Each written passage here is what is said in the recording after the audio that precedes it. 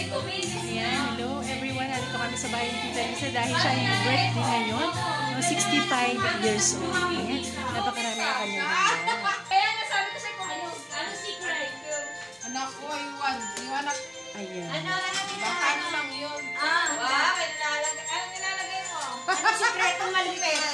Thank you. Ay, nalaglag. Nalaglag. Share mo nga sa amin. Sige, nalaglag.